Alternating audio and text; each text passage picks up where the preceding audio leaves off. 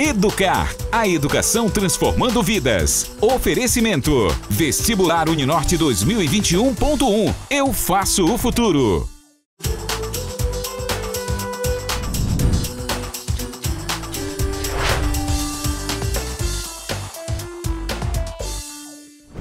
Olá, que tal? Eu sou a professora Mauriela Encosta e hoje vim aqui para dar aí uma aula sobre a heterossemânticos e perífrase verbal. Aí você me pergunta o que estudar para o Enem? Língua espanhola. Por exemplo, você tem uma opção no Enem na hora em escolher uma língua estrangeira, ou você escolhe espanhol ou inglês.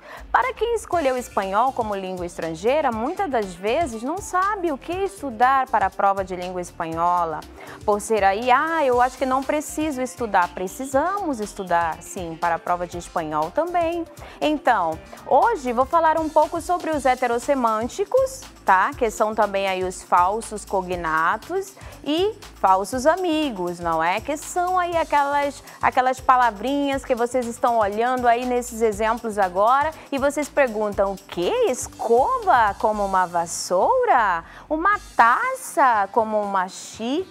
Então essas palavras, elas podem aparecer no dia da sua prova de língua estrangeira. Lá no Enem, você está lá concentrado e de repente apareceu uma palavrinha dessas que são falsos amigos. Por que nós chamamos de falsos amigos? Porque parece, mas não é.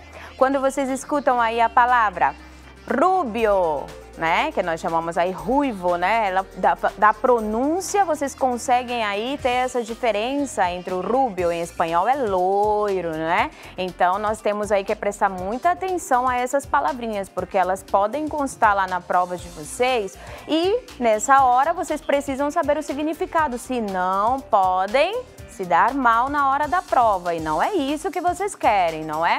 Então, nessas palavras em espanhol, nós temos várias palavras que são consideradas heterossemânticas, tá?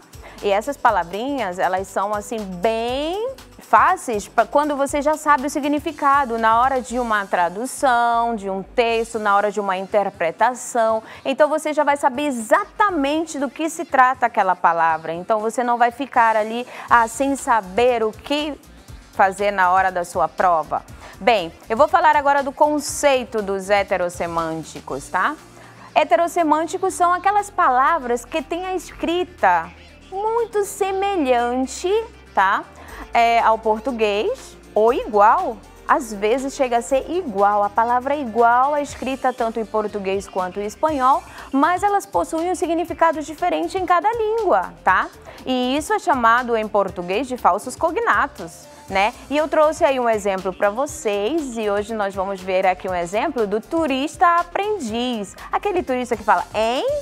Hein? Às vezes não está entendendo, não é o que estão tentando falar, então vou ler aqui um exemplo para vocês. Um rato, por favor? Hein? Segundo exemplo que temos aqui, la carne es muy esquisita. Hein? ¿Quieres ir de tapas? E aí, de repente, o turista pergunta: Hein? Não quero quedar-me embaraçada. Hein? Acá está seu vaso de água. Hein? Então, se vocês encontram uma tirinha dessas em sua prova do Enem, o que, que você vai imaginar? Que palavras são essas? Um rato, por favor? Rato? Ah, você vai imaginar, estou esperando aí um rato, onde vai venir este rato, não é? Pero rato não é aquele animalzinho roedor do nosso português. Rato é questão de tempo, é minuto. Se espera um pouquinho, então em espanhol hablamos, espera um rato, espera um ratito. Ah, temos aí segundo como a palavra esquisita. A palavra esquisita é quando diz, ai, a carne aqui é muito esquisita. Esquisita, ele vai dizer que é saborosa, deliciosa. E uma pessoa que nunca estudou espanhol não vai saber que isso vai significar esquisita, vai imaginar a carne não está muito boa, não é? Então, isso é importante, por isso a importância de estudar espanhol para uma prova do Enem. E o terceiro exemplo nós temos lá das tapas, né? Que temos aí como as tapas. E quando ele pergunta, queres umas tapas? Tapas aí para eles é o quê? As tapas são tiragostos, são ali aperitivos, coisas que vocês vão, entradas na hora que você vai pedir em um restaurante. Então, isso são chamados de tapas, tá? embaraçada, grávida. Por exemplo, ai, não quero me quedar embaraçada, que é grávida. E um vaso, que seria um copo. Ah, dá-me um vaso de água. Não vai chegar com aquele vaso, não? Que nem aí o turista está fazendo. E ela pergunta, hein? Então, esses são alguns exemplos de heterossemântico muito importante que os alunos que escolheram, optaram por língua espanhola no Enem, que eles tenham conhecimento, pesquisem, procurem mais palavras heterossemânticas e vocês vão saber que na hora da prova não vão se confundir com aquelas palavrinhas que têm o mesmo significado do português. Mia, continuando na nossa aula, vamos falar um pouco sobre a perífrase verbal que isso aí é uma perífrase, né? Aqui eu tenho um exemplo de uma perífrase que diz, vamos, que vamos fazer em el fim de semana? E disse, nada, pi, não há plata, entende? Esse aí é um exemplo, ele disse, que vamos fazer em el fim de semana, não é? Então, aí é um exemplo de perífrase verbal, tá? E Além desse exemplo que nós temos aí da perífrase verbal, vamos falar um pouco do conceito, não é? O que, que é uma perífrase verbal? Né? O que, que vai tratar essa perífrase verbal? Ah, antes temos aqui mais um exemplo para que vocês possam perceber. Que estão fazendo eles? Né? Que estão fazendo eles? Ah, Juan está jogando ao futebol, não? El perro está durmiendo. Cuando ustedes ven, está jugando y está durmiendo, eso es una perífrase verbal en la lengua española, que eso es llamado o verbo estar más gerundio. Tá? Ou seja, como está jugando, está cantando, está durmiendo, está comiendo. E temos vários outros exemplos que poderíamos falar de uma perífrase verbal de gerúndio. Ah, aquí, ¿qué van a hacer ellos? Paco va a tocar la guitarra.